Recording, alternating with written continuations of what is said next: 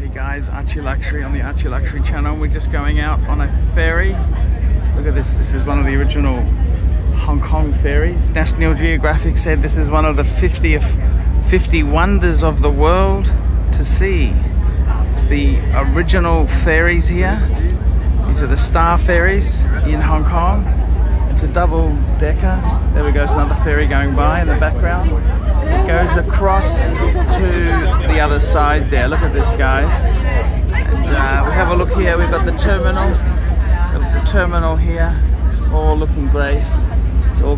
Look at this beautiful water. This is Hong Kong Bay. It's just gorgeous. Look at this.